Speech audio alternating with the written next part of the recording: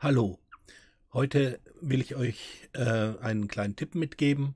Wenn ihr Webseiten habt, die ihr auf Änderungen überwachen wollt, zum Beispiel eine Bitcoin-Adresse, da ändert sich ja jetzt nicht täglich was. Ne? Hier sieht man 19.09.21, das ist jetzt wieder ein paar Monate her. Und wenn man das nicht jeden Tag aufrufen möchte, dann kann es sinnvoll sein, Dienste zu nutzen, die einem Änderungen mitteilen. Natürlich ähm, würden auch Änderungen am Design von der Webseite oder so dazu führen, dass eine ähm, Nachricht kommt, aber man muss halt weniger häufig die Webseite selber aufrufen, sondern man kriegt eine Nachricht.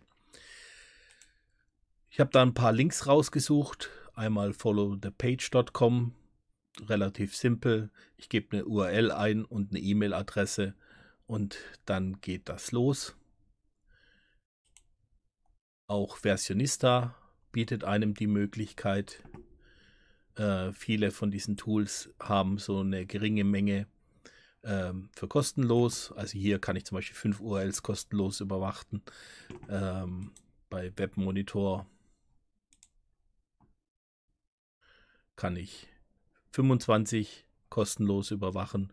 Da kommt dann schon ein bisschen was zusammen. Und natürlich gibt es auch noch Programme, die ich auf dem eigenen Rechner laufen lasse. Aber das wäre dann ja wieder für OSINT in der Bash. Okay, heute war es ganz kurz. Macht's gut. Ciao, ciao.